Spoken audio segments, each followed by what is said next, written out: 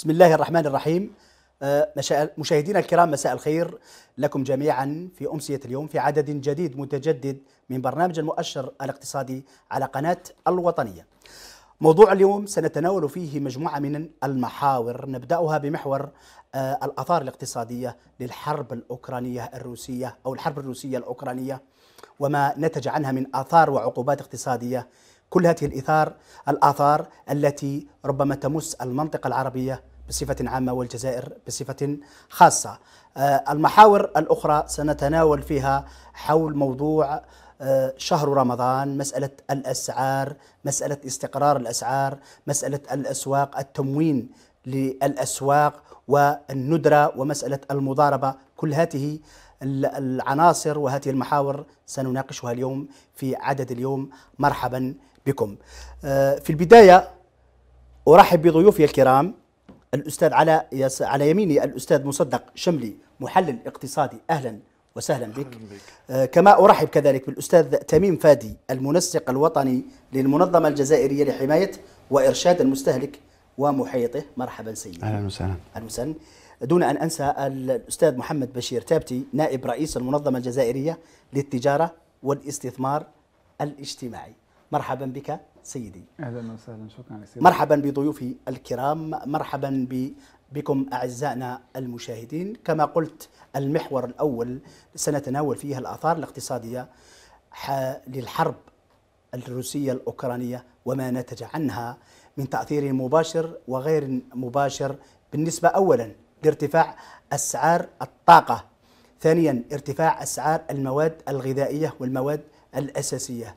كل هذه العناصر أدت إلى طرح ربما فكر جديد أو نظرية جديدة حول مستقبل الأسعار والتضارب الحادث الآن بين ما هو سياسي وما هو اقتصادي. عقوبات اقتصادية أراد بها الغرب ترويع وتركيع الاتحاد الروسي ولكنها لا تنفع لأن اللعبه أكبر من ذلك بكثير غير أن العرب في كثير من الأحوال هم يحاولون دائما البحث عن المصالح الآنية أو المباشرة لشعوبهم غير أن هذه المصالح لا ربما لا تعجب الكثير من الدول الغربية التي تحاول دائما فرض سيطرتها وفرض نفوذها وفرض أجندتها السياسية على مجمل الدول العربية.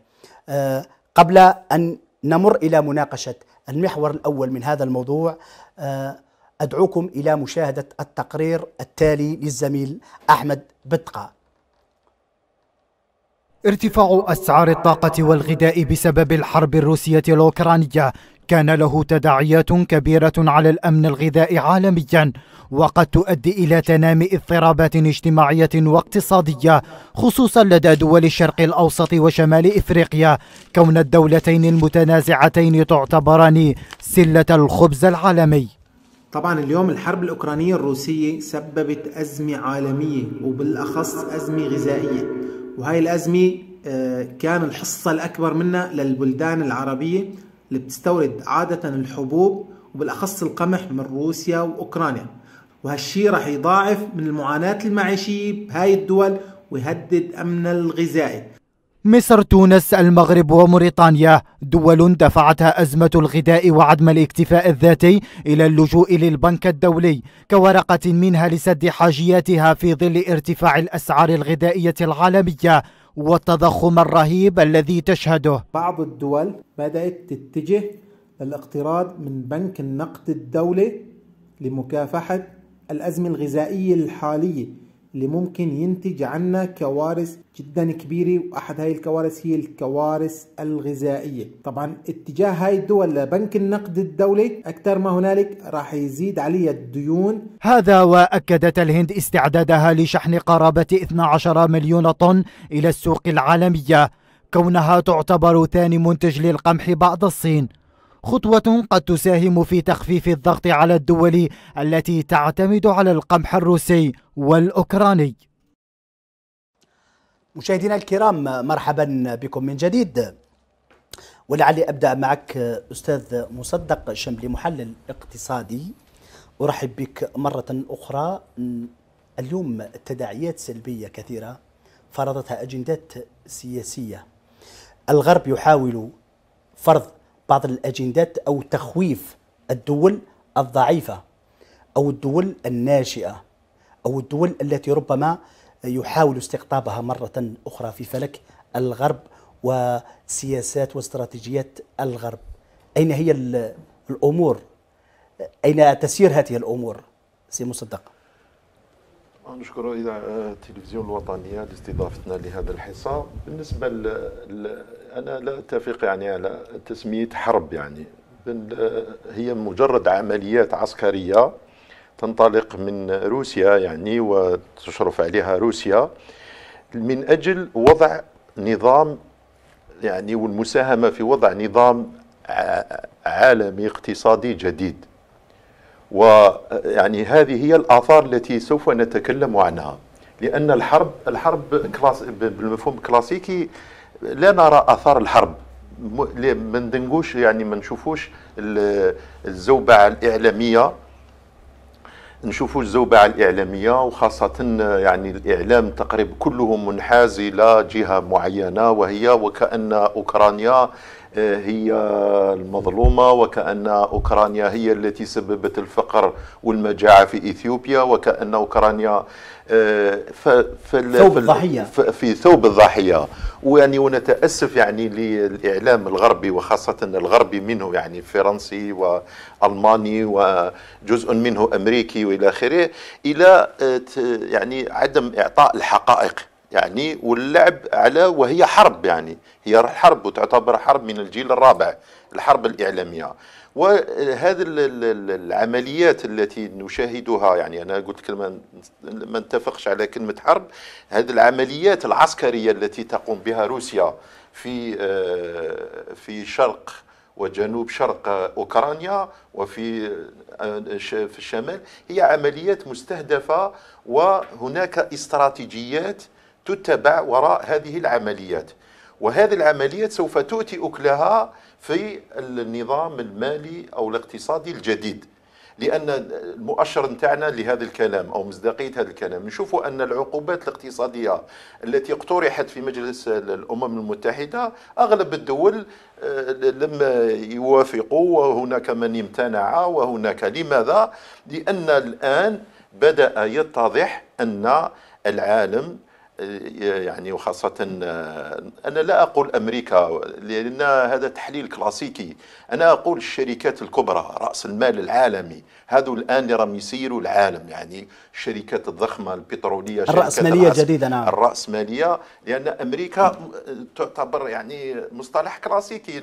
راح نكون نمشيو في هذه التحليل ما يكونش ما يكونش يعني لا يؤتي يكون هناك تمييع. يكون تمييع. نعم. لأن الآن اللي يحب يحلل ويتبع الوقائع ما يروحش في المنظار الكلاسيكي أمريكا فرنسا ألمانيا لا. يروح في المنظار ومصالح الشركات العالمية الكبرى في الدواء الصناعه الحربية في الإعلام في كذا. هذه الاستراتيجيات وهذا هم الآن راهم يشرفوا على مواجهة العمليات العسكرية الروسية لأن الآن اكتشف أن الدولار هو آه، يعني آه، في كثير من الأحيان هو آه، يعني أداة استعمار وأداة لتفقير ول والتحكم المالي والنقدي. في جميع الشعوب يعني من خلال لأن كل المعاملات النقدية نهار خرجوا من اتفاقية بريتن وود كل عمليات تتم. في أغلبها بالدولار وجزء قليل باليورو. عملة أساسية نعم. وبالتالي كي يعني تكون حمى في ال في ال اسمه في الدولار الدول الأخرى الاقتصاديات تموت تموت. كاين دول كاين دول لا لا نستطيع أن نقول لها اقتصاديات في إفريقيا في في آسيا ما في أمريكا عندها اللاتينية. مشاكل نعم. وبالتالي نشوفوا ان العقوبات اللي آه، الغرب. كي نقولوا الغرب ثاني ما, ما تأديش المعنى. الشركات الرأسمالية الكبرى هي التي تريد أن أنها تفرض العقوبات وترى وهي ما عندهاش مانع. هي ما عندهاش يعني غدوة تتراجع العقوبات لأن الآن النظام المالي العالمي أصبح يعني أصبحت يعني عيوبه وانحيازه إلى أفراد. يعني توصلنا في العالم 5% من العالم تتحكم في 95% 5% في العالم بعض رؤوس يعني الأموال أو أصحاب رؤوس الأموال ومعروفين هذه الشركات منطق غريب سي مصدق. نعم. منطق غريب. منطق جد غريب وأنه باستعمال الطرق والإعلام وكذا يخليك باللي هذا المنطق مقبول. نعم. كيف يعني مقبول؟ شغل إحنا دوك في في الجزائر يجيو خمسة من الناس يمشيوا لنا الاقتصاد ويصرفوا في فينا وهما اللي ويكون هناك قبول ويكون هناك قبول هذا أمر غير مقبول والعالم تفطن وخاصة القوى الوطنية في العالم في كل العالم تفطنت للخطة ولهذه الشركات وال أكيد.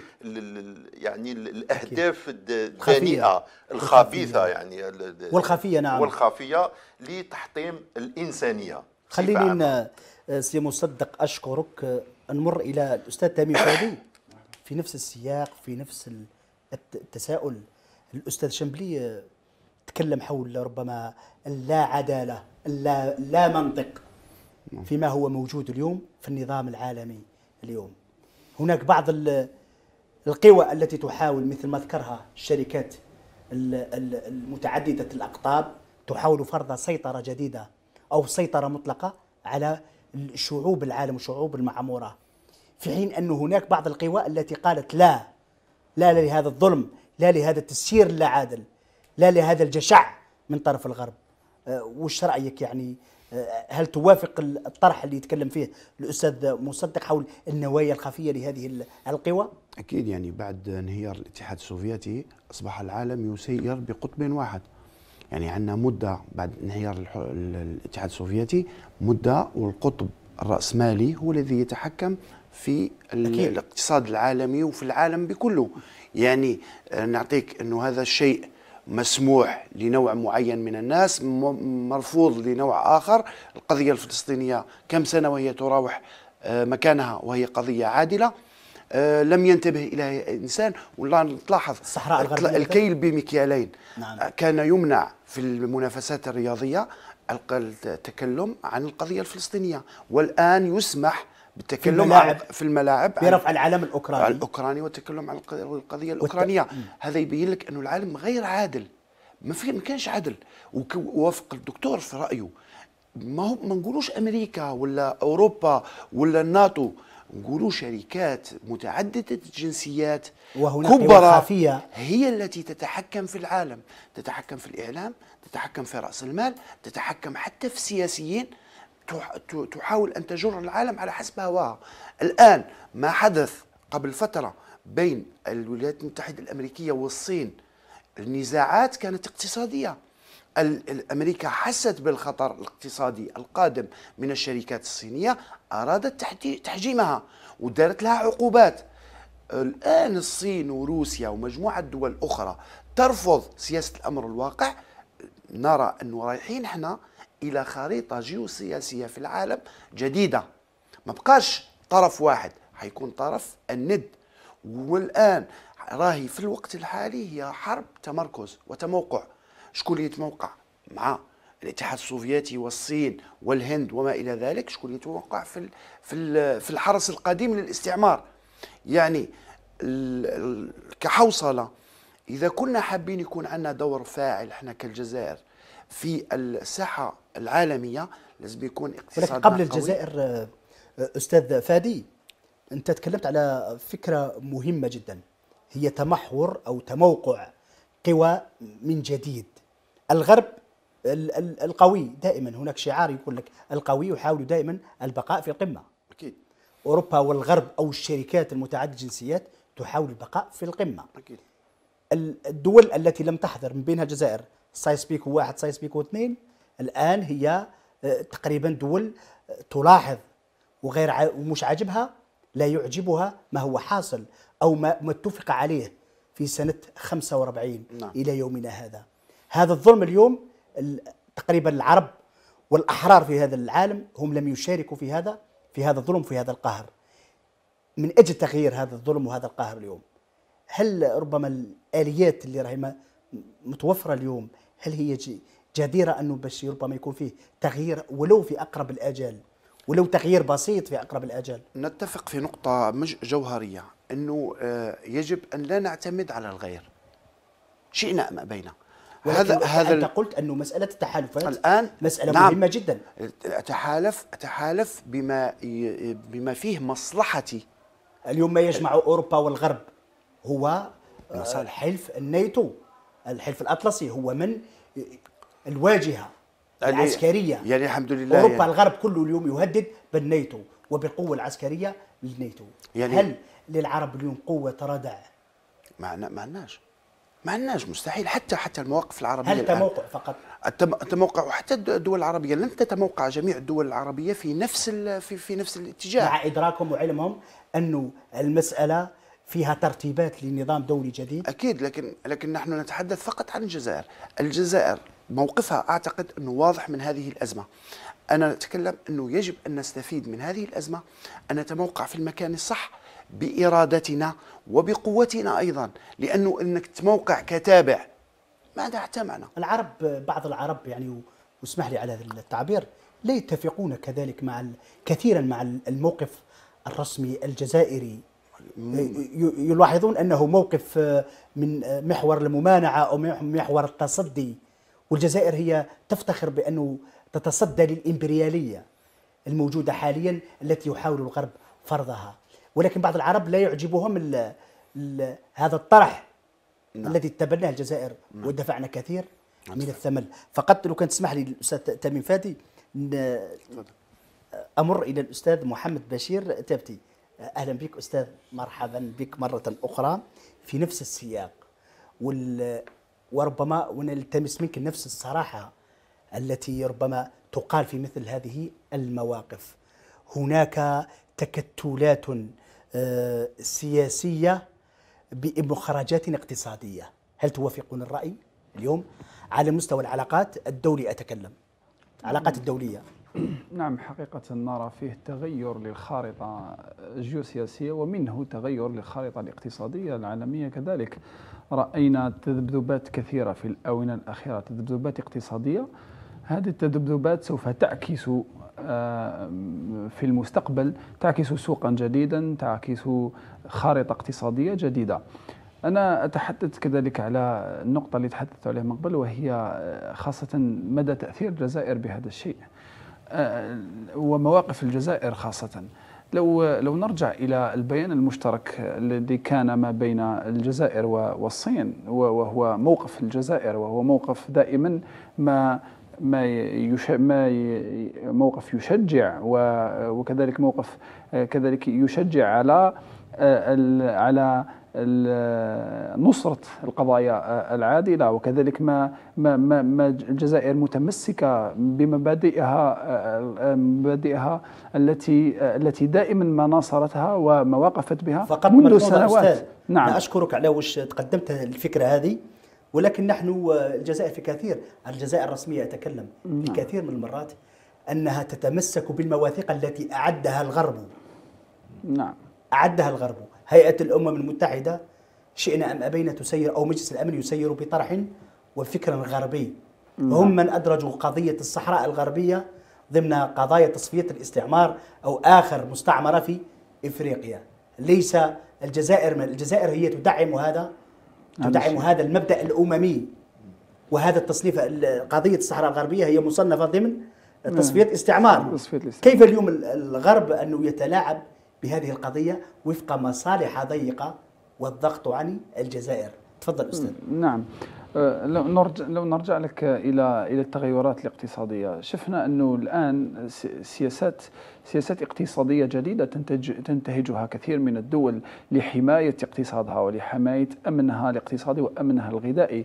شفنا أنه كذلك آه، آه، بعض آه، القرارات أقول الكبيرة التي لم نشهدها نشهدها من قبل الآن قرارات مثلا تتخذها روسيا أو يتخذها دول الغرب. هذه القرارات سوف يكون لها تبعات سوف يكون لها تأثير سوف يكون لها تأثير على السوق تأثير على سوقنا الداخلي وكذلك على السوق العالمي. وكما وكما وكما هو معلوم أنه نحن نخرج من ونتعافى من آثار اقتصادية سلبية لكوفيد 19 إذا من هذه الآثار الاقتصادية السلبية من كوفيد 19 ذهبنا إلى تغيرات فرضت هذه العملية العسكرية آه، آه، على العملية العسكرية. إذا نشهد ارتفاع مست... أسعار الطاقة نعم، ارتفاع, ارتفاع. أسعار القمح لو المواد نتحدث الأساسية. شوف نتحدث على النتائج. هي قبل ذلك- كثيرة نتائج كثيرة قبل ذلك نتحدث- أستاذ. نعم تفضل. منذ يومين آه، وجدنا انه صندوق النقد الدولي آه، يتكلم في طرح آخر هو انه إفريقيا آه، ست- ستعاني من مجاعة ومن أزمة غذاء بفعل الحرب عن وكأن صندوق النقد الدولي ال- المجاعة التي كانت موجودة قبل الحروب في وقت السلم لم تكن موجودة. كانت مقبولة. كانت مقبولة. الآن يهدد إفريقيا بأنه اصطفي مع الغرب وإن لم تصطفي مع الغرب أيتها الدول الإفريقية فستكون ما يكون مصيرك المجاعة. اذا نحن أمام آه، ربما تكريس سلوكات جديدة أو تكريس السلوكات أو الممارسات السابقة التي يحاول الآن الغرب فرضها ايديولوجيا سياسيا اقتصاديا وعسكريا. أي بجميع الطرق يحاول الغرب الاستمرار في الممارسات التي أقرها منذ 1945 نعم هذه تك... آه، هذه الممارسات التي عادة ما كانت خفية الآن أصبحت ظاهرة. وأصبحت بجرأة أكثر وأصبح كما ذكر زميلي أنها شفنا الكيل بمكيالين وشفنا التعامل. في قضايا إنسانية وليس فقط في الرياضة في قضايا إنسانية مثل المجاعة أن الغرب يستعمل كل هذه الوسائل القضايا الإنسانية الرياضة كل شيء يستعمله لبسط آه، سيطرته أكثر والمشي في سياسته المنتهجة منذ منذ سنوات منذ عقود. إذا هذه الممارسة ليست بجديدة. فقط الآن نرى أنها أصبحت ظاهرة أصبحت تطفو أصبحنا نرى هذه الممارسات آه، آه، رؤية العين. إذا هذه سياسة الغرب في التعامل مع القضايا التي تصب لصالحه والتي تعطيه قوة أكثر والتي تعطيه بسطة وسيطرة أكثر. ال- أستاذ بشير فقط نعم. لو تسمح لي فعلا ماذا تكلمت انه الغرب يحاول إحاطة نفسه بال- بالحرس القديم أو السلوكيات القديمة فرضها هل ربما نشوف ثوب جديد للغرب اليوم في صورة آه، ربما علاقات دبلوماسية جديدة في صورة ربما م- مزايا جديدة راح يقدمها الغرب للدول التي محتمل يحتمل أنها تكون في فلك المعسكر الشرقي أو روسيا والصين مثلا؟ دوك بطبيعة الحال لأنه لازم الغرب يكون يستعمل كل الطرق. نعم نعم. هي توازن الفرص آه، توازن القوى وأنا أقول توازن القوى. لازم يكون لما لما يشوف الغرب لأنه آه، فيه ضعف في قوته فيه ضعف في نفوذه فيه ضعف في علاقاته فيه الآن إذا يجب على آه، القوى الغربية أن تقدم أو كما قال زميلي على هذه الشركات المتعددة الجنسيات الباسطة آه، آه، لسيطرتها ونفوذها على العالم.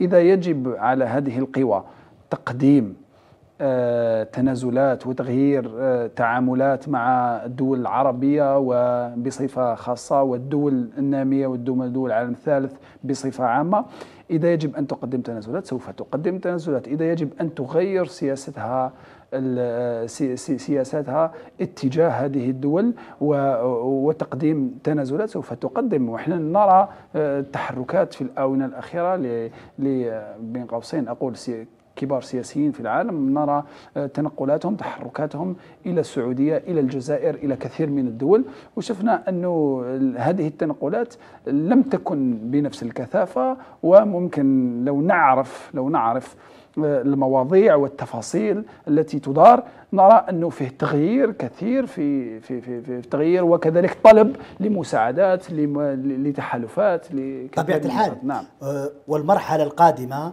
سوف تكشف لنا الكثير من ربما بالطبع.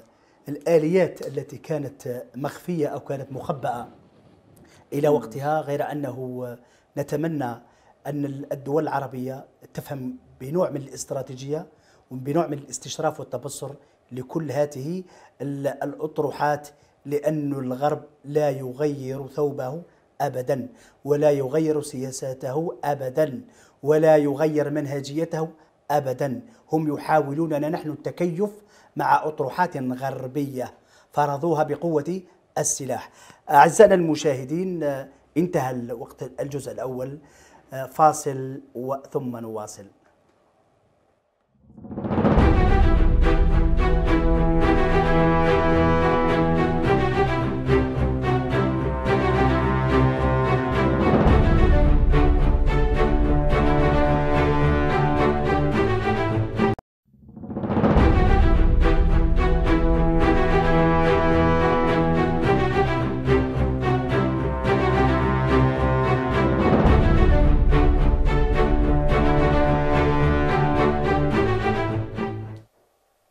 مشاهدينا مرحبا بكم مجددا في المحور الثاني من برنامج اليوم آه، المؤشر الاقتصادي على قناة قناة الوطنية. مرحبا بكم مجددا ومرحبا بضيوفي الكرام.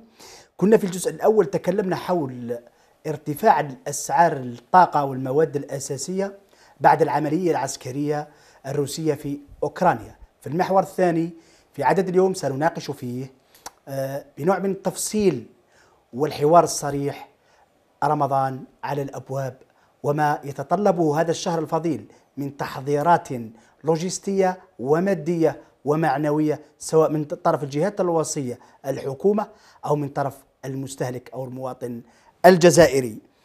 شهر رمضان على الأبواب الحكومة تطمئن والمواطن يترقب على المستجدات.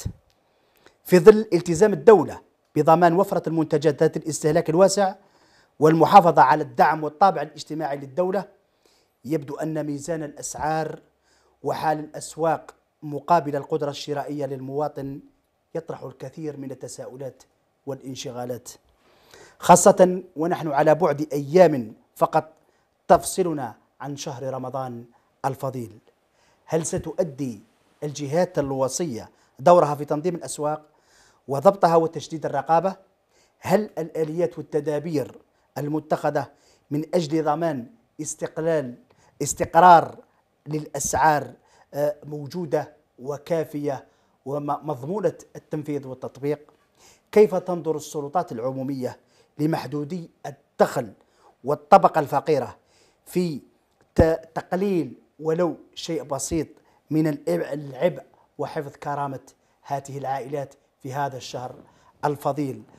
قبل المناقشة في كل هذه المسائل آه، تابعوا أعزائي المشاهدين معي هذا التقرير من المعد من طرف آه، الزميل بالقاسم عجاج ونعود إلى الاستوديو للنقاش. يرى خبراء في المجال الزراعي والفلاحي أن الارتفاع غير المسبوق للمواد الغذائية مفتعل ومرده التغيرات الجيوستراتيجية في العالم. أه وإحنا يعني الآن نشهد إلى مشاكل على المستوى العالمي بالنسبة للإنتاج الغذائي وذلك يعني أظن أنه مشكل مفتعل. راجع إلى تذبذبات جيوستراتيجية.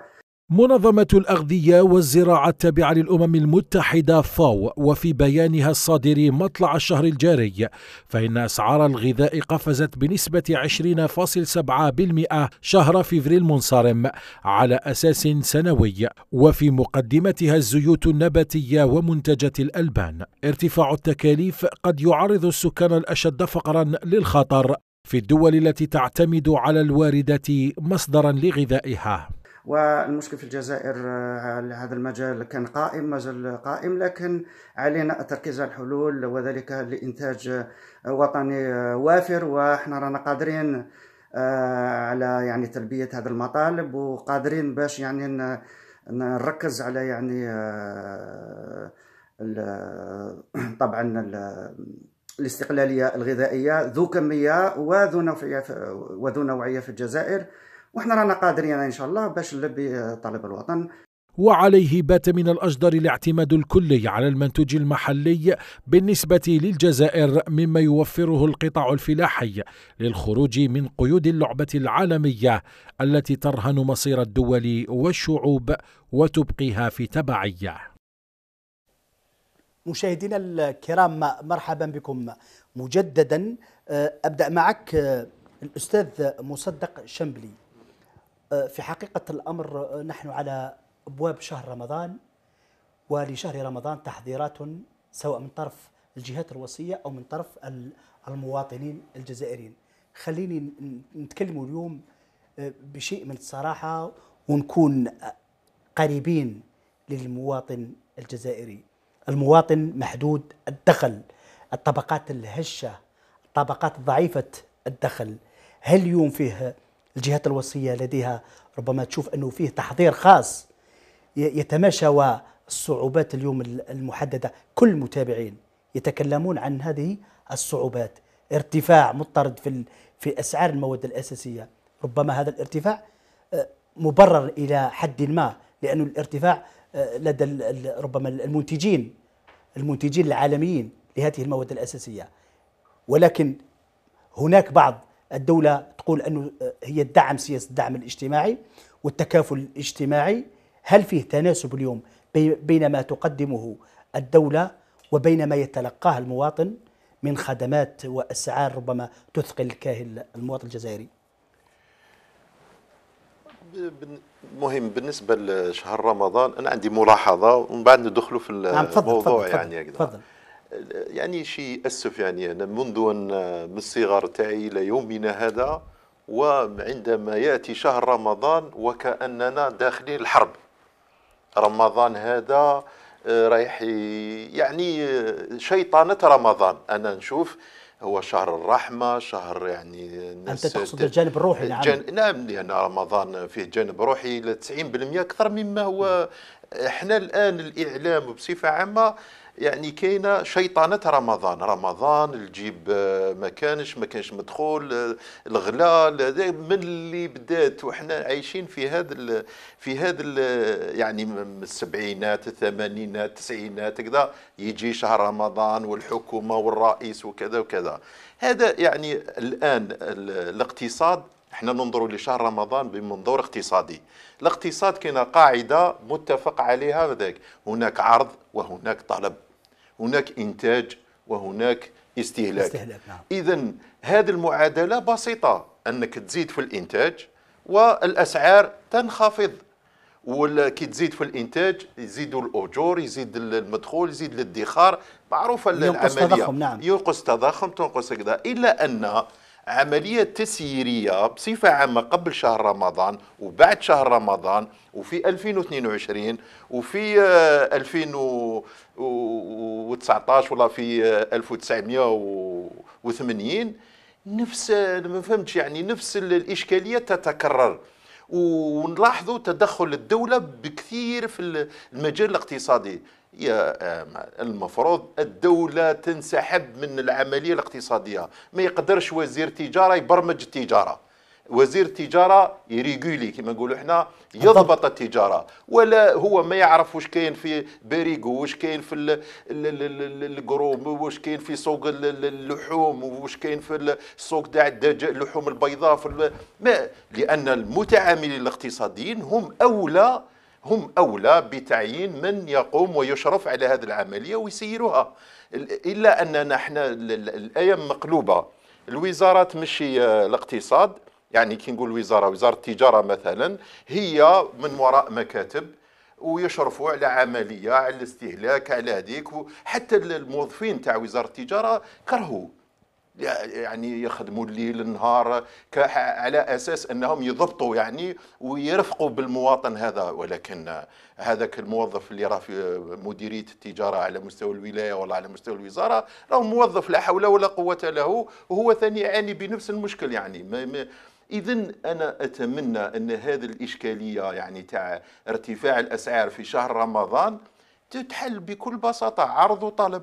أن الانسان ما دام كاين الآن مصانع وكاين استثمارات ضخمة جد ضخمة آه، يكون الإنتاج تنخفض الأسعار واللي يخرج على القانون القانون يتصدى له سواء مضاربة أو غش أو كذا أو كذا. ولكن ما نقلبوش الآية نقلبوا باللي شهر رمضان هو تاع وزاره التجارة.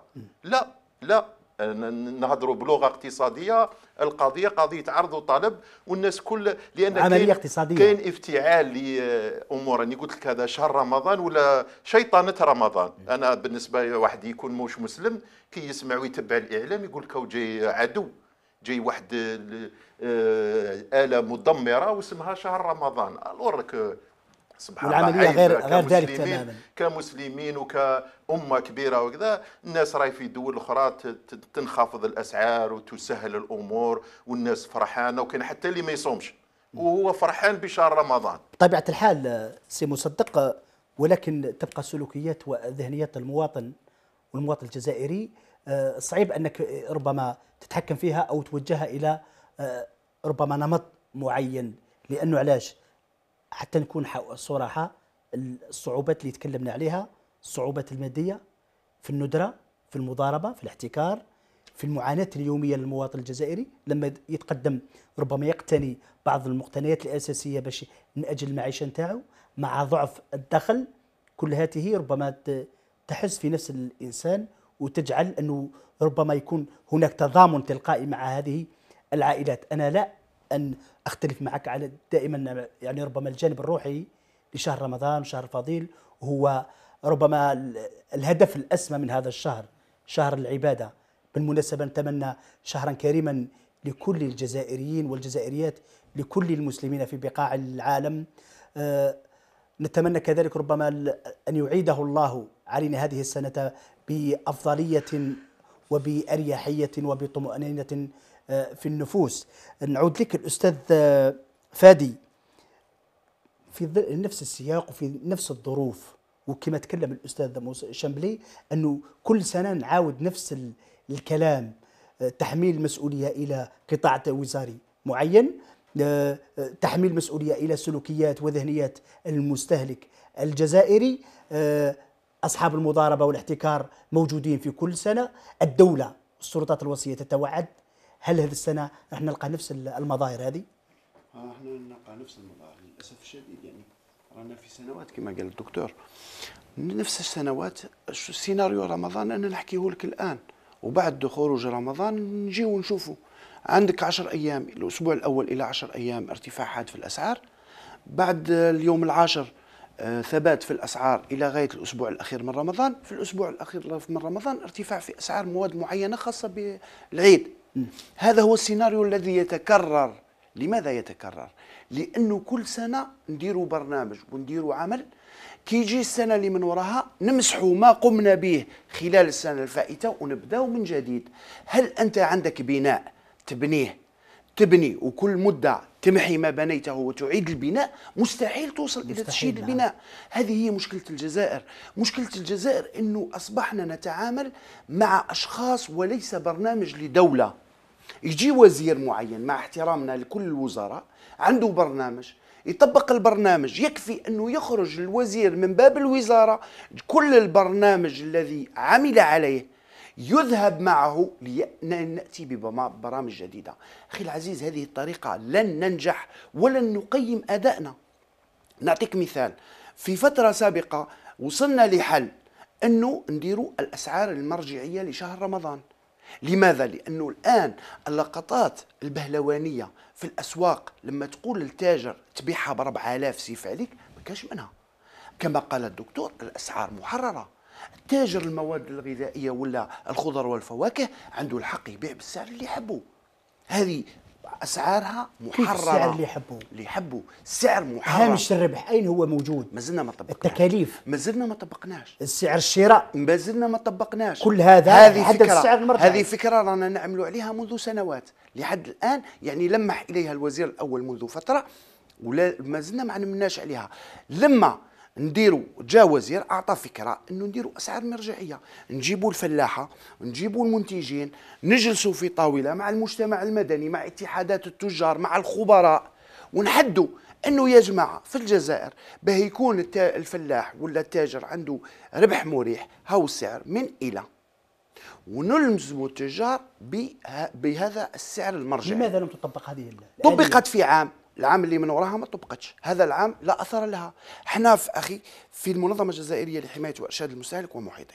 العام اللي فات لما خرج رمضان راسلنا السيد رئيس الجمهورية بمراسلة رسمية. طلبنا رسميا تشكيل لجنة من عدة وزارات مع فا- الفاعلين في قطاع التجارة من جمعيات من النقابات من خبراء. هذو عملهم هذه اللجنة وش تخدم؟ تخدم لرمضان. تحضر برنامج. تعمل عليه طول السنة. نطبقوه في رمضان. كي يخلص رمضان تجتمع اللجنة تقيم أدائها. الإيجابيات ت- ت- نكرسها. نكرسها. السلبيات نحاولوا. نغيرها في رمضان اللي من وراه نفس البرنامج. ويكون هناك متسع. أكثر. نزيدوا نطوروا في برنامجنا. نعتقد إنه بعد ثلاث مراحل ولا أربع سنوات فقط لو تسمح لي الآليات اللي راهي تطرحها درك وزارة التجارة التحضيرات لشهر رمضان نقولوا فتح أسواق الرحمة. بين قوسين أسواق أو أسواق الرحمة جوارية. أسواق جوارية أسواق جوارية اللي موجودة. هل أنشأت وزارة التجارة اسواقا جديدة غير اللي موجودة تحضيرا لرمضان؟ لا. هي للأسف عندنا أسواق جوارية في الجزائر. بنيت وظلت مغلقة إلى أن إلى أن يعني فسدت خربت ولم تستغل لضعف في شخصية بعض بعض بين قوسين رؤساء المجالس الشعبية البلدية أو لرفض التجار التنقل إلى مناطق نائلة لتأدية مهامهم التجارية. هذه الأسواق الجي- الجوارية مش رمضان. الأسواق الجوارية هذه لازم النقطة هذه نحطوها على طول السنة. على طول السنة. نخدموا أسواق جديدة في بالنسبة رمضان. للتموين التموين التموين الأسواق الوطنية. شوف أنا نعطيك حاجة بغض النظر عن كل المعطيات اللي موجودة والسلبيات اللي موجودة. في العام الأول لجائحة كورونا أثبتت المنتوجات الفلاحية الجزائرية أن عندنا الاكتفاء الذاتي ونقدروا نتحكموا في السوق تاعنا. الحمد لله. عندنا إنتاج فلاحي يكفي الجزائر. لازم فقط الإدارة أنه تصغي للفل... لصغار الفلاحين وتتكفل بمطالبهم في. في الإنتاج في بداية الإنتاج. موش تخليه في بداية الإنتاج؟ ع- لوحده يعاني ومن بعد في نهاية السلسلة التجارية تقول له آه السعر غالي. عندك إشكالية تجارية. إحنا عندنا في الجزائر من يغطي الإنتاج؟ هم صغار الفلاحين. خلينا نروح معك تفضل نعم التدخل في هذا المجال نعم، تفضل. يعني لأنها نقطة جد جد مهمة اولا ملاحظة مشكل اقتصادي يحل اقتصاديا نعم. وليس مشكل إدارياً. اقتصادي يحل اقتصاديا إنتاج توزيع لأننا إحنا الآن في الجزائر وراه آه، آه، نظام توزيع شبكة التوزيع. شبكة التوزيع في الجزائر والراي وهذا يؤدينا لسؤال واحد آخر مجلس المنافسة le conseil de de la concurrence. هذا هذا ما نسمعوا عليه أنا كخبير يعني كذا ما نسمعوا عليه ما على بالنا واش مفعل يدير على ما اظن فعلوه لحسابات ما لمجموعات ما ومن بعد ذهب هذا المجلس. alors مجلس المنافسه يضبط وما ما نحتاجوش ما إحنا ما الباب، نعم. نحتاجوش قانون تاع المضاربة ومن بعد تطبق على آخرين وما تطبقش. في حين أنه كاين هيئة، والدول نعم. الدول بصفة عامة الدول سورتو الفلاح لأن المشكلة مش غير في وزارة التجارة المشكلة راه كبير في وزارة الفلاحة. وزارة الفلاحة لأن هي اللي تمد هي اللي تعطي ال- الرخص وتاع المواد الأولى تاع الصوجا وتاع ال- اللحوم وتاع استيراد هذه. الدول يعني هذه نقطة نضيفها. حتى الفلاح نهار يبدا يخسر. نهار تا- راكم كل هنا عشتوا في السوق يولي الدجاج باطل يطايش. تولي البطاطا ما كانش اللي يشريها تولي هذاك الأسعار إنت- منخفضة، نعم. تنخفض لأن قاعدة وذكرتها لك. زيادة المنتوج. عرض وطلب. نعم. زيد العرض تنخفض الأسعار. يزيد الطلب ترتفع الأسعار. هذه سيت راجل يعني. الدول الدول اللي كان جهاز تخطيط اللي إحنا وضرناه جهاز تخطيط ووضرنا الرقم. إحنا دوك ما ما- عندنا ديوان الإحصاء ولكن وراه الإحصاء. الد- الدول الفلاح نهار يبدا يخسر الدولة تعطيه الفارق باش يبقى في المجال تاعو. قال قداس قامت قامت لك ب 10000 قال آه، ذاك هاي ال 10000 من عند الدولة عقب البنكة يبقى محفز وما يخسرش. يبقى محفز ويبقى القطاع القطاع يبقى متزن ويبقى لأن فلاح. يبقى فلاح وعلى بالو باللي غدوة كي يخسر وكاين إنتاج وافر يروح للدولة تعطي له الفارق أكيد. هذه موجودة في أمريكا في أوروبا في اليابان في الصين وفي الجزائر في إفريقيا. في الجزائر ما ما لقيناش الدولة تغطي العجز تاع ذاك كاين نلقاو الدعم الدعم لأصحاب القمح عندهم الدعم أنه يبيع يمد القمح تاعو للدولة وعنده السعر ثابت اذا هذه الميكانيزمات هذه هي اللي طيب. تضمن لك هذه ميكانيزمات اقتصادية ماشي تجي ورا بيرو وتكتب ممنوع بطريقة وذاك بيروقراطية. والامضاء تاعك يسوى سوارد. الامضاء ذاك تاعك الفكرة وصلت تبيعه أستاذ شمبلي شكرا آه، أستاذ تبتي لعلك استمعت إلى الطرحين طرح يتكلم على حول أنه ال- الآليات ربما موجودة. التنفيذ غير موجود وطرح آخر ربما أنه الدعم لا يقدم إلى مستحقيه الأساسيين لأنه كي يتكلم الأستاذ شمبلي حول المنتج أو حول الفلاح اللي ربما يحتاج الدعم المباشر. الدعم ربما يلقاه آه، تاجر جملة بالدرجة الثانية أو تاجر جملة بالدرجة الثالثة أو تاجر تجزئة بالدرجة الثالثة أو الرابعة دون أن يتلقاه الفلاح البسيط. وشفنا خسائر كثيرة فعلا. تجارب السنوات شفنا خسائر على سبيل المثال مادة البطاطا. آه، طلعت وقع معايا ذاك الفلاح لأنه يوما ما خضع حبة تاع بطاطا وقدمها للجمهور وقال لهم راكم يوما ما ستلقون البطاطا آه، تصل إلى 15000 وفعلا وصلنا إلى هذا اذا آه، الشيء اللي شافه خلاه يتنبأ بهذا الدور هذا. في نظرك أنت اين هو الخلل لأنه الكل يرمي الكرة إلى ملعب آخر. نعم. أين هي المسؤولية في هذا في هذا الباب؟ وتنبؤ الفلاح كان صحيحا. شوف أخي أنا أنا نرجع للكلام اللي قاله زميلي حول عدم الاستقرار على مستوى المصالح الوزارية. أنا نقول باللي هذه المرة عندنا استقرار على على في في في وزارة التجارة. وهذا رمضان القادم الذي إن شاء الله يأتي علينا بالخير والبركات. هذا هو رمضان الثالث رمضان 2020 رمضان رمضان 2021 وهذا رمضان 2022 نعم. اذا من المفروض من المفروض هذا رمضان ما يكونش فيه المشاكل. لأنه في سنة 2020 جلسنا كشريك اجتماعي وتحدثنا ودرسنا مسببات هذه الظواهر ظاهرة المضاربة ظاهرة ارتفاع الأسعار ظاهرة ندرة المواد ظاهرة اللهفة في اقتناء المواد الأساسية. كانت كلها فوق طاولة ودرسنا الحكومة نعم. وتخيلنا بعض الحلول وطبقناها ولقينا باللي كاين بعض الحلول كانت فيها نسبة من نسبة من النجاح وكاين بعض الحلول اللي كانت للأسف غير مجدية. ومرينا على رمضان 2021 ومن المفروض رمضان 2022 تكون فيه دراسة دراسة واضحة لما هم الإخفاقات ما هم النتائج الإيجابية. ونذهبوا إلى رمضان أحسن من 2020 2021 ولكن بعض المؤشرات وللأسف تقول أنه هذا رمضان راح تكون فيه نفس السين يكون فيه نفس السيناريو. في رأيك وش هو السبب المباشر في ذلك؟ هل هو الضغوطات اللي تواجهها القطاعات الوزارية اليومية؟ هل هو ضعف السياسات؟ هل هو مشكل تنفيذ السياسات؟ لأن السياسة العامة لما تخرج في إطار مشاريع إلى التنفيذ ربما راح يتلقى السادة الولاة اللي كاين المصالح الخارجية للوزارة هي تتلقى هذه التعليمات وهذه المذكرات. تطبيقها. التي السياسات التي تجب الذي تجد صعوبا في تنفيذها اذا هي سياسات في أصلها ضعيفة. لأنه لما تطبق لما تخمم ودير سياسة خمم كذلك في آه، لافيزابيلتي تاعها. خمم في مدى تطبيقها في الميدان. وقابليتها في الميدان. وقابليتها في الميدان وكيف تطبق والاليات اللي تطبق بها و la résistance اللي تكون عندك. يتم كل هذا لازم تاخذه بعين الاعتبار. أنا نتحدث لك. إذا بالحديث عن اسباب إعادة يتم يرجع لنا نفس السيناريو هذا. الاسباب واضحة.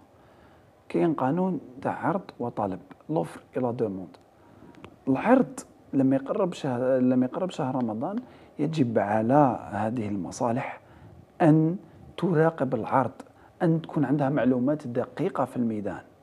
إحنا نتحدثوا على على رقمنة القطاع رقمنة المواد. قبل رقمنه فقط أه أستاذ بشير. نرجع لك لا لانها عندها علاقة مباشرة عندها علاقة فعلا. مباشرة مع لوفر مع إحنا لو نذهب إلى الإحصائيات حول العرض كل الاحصائيات غير دقيقة كلها غير دقيقة. نسقسيك سؤال مباشر شحال عندنا مثلا إنتاج في مادة معينة؟ ما تقدرش تجاوبني.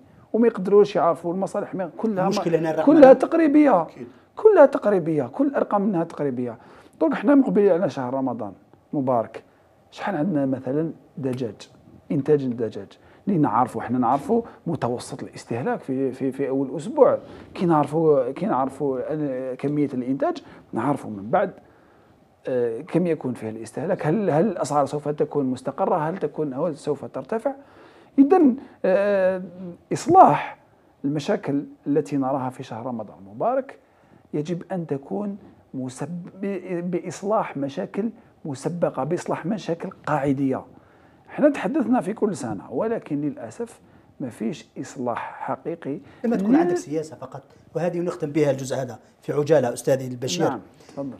لما تكون عندك سياسة معينة ومشروع أو طموح ولا تاجر راح ينخرط لك في العملية ولا آه، أصحاب التجارة بالتجزئة والجمله ينخرطوا لك في العملية ولا حتى المستهلك بسلوكه ينخرط لك في العملية؟ راح أنا- تلقى أنا- تلقى طيب اشكال أستاذ نعم. هذا الشيء آه، لأنه أنت تكلمت على الشركاء. اليوم لازم تا آه، ربما تنادي وعندك أمنية أنك تشوف المشاكل هذه في الأسواق ما تكونش. شوف أنا أنا أنا نتحدث لك على نقطة مهمة. إحنا ماشيين من من نظام تاع سوق اللي كنا عايشين فيه ل- ل- للوزير الأول تحدث وقال أنه فيه نسبة كبيرة من موا من من من عو- من آه، موني يسمى من مواد كتلة نقدية في, في السوق الموازية. لما لما صرح الوزير الأول هكا هذا واقع ولازم نتقبلوه. إحنا ماشيين من من هذا النظام السوق إلى نظام جديد على حساب ال- المشاريع اللي راهي على مستوى وزارة التجارة فيه code barre لكل المواد فيه رقمنة فيه للتوزيع نعم. فيه. إذا ماشيين من من من موديل إلى موديل.